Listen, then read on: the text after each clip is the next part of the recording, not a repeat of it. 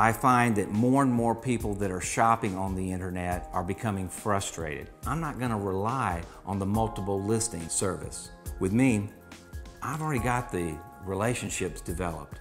I can't say other agents do. Hey, I've got two properties that have been used as VRBO that are getting ready to come on the market within the next week or two.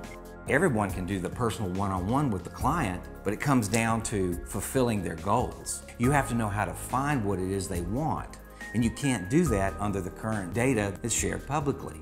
What's the difference between me and the average real estate agent? Time in the trenches. You can't buy that, you can't read up on it. It comes with experience.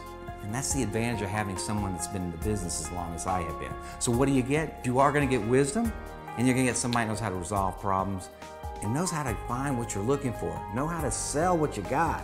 And that's the difference between me and those other people. I'm a solution.